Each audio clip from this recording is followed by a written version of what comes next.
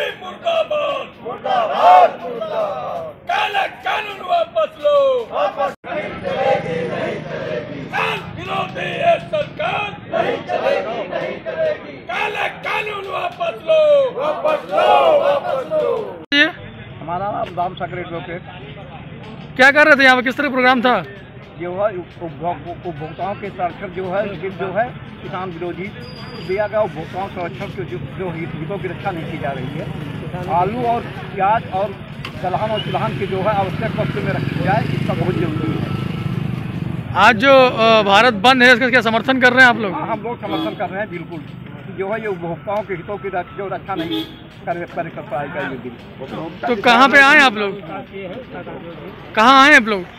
तो हमको कहीं कचेरी में अधिवक्ता!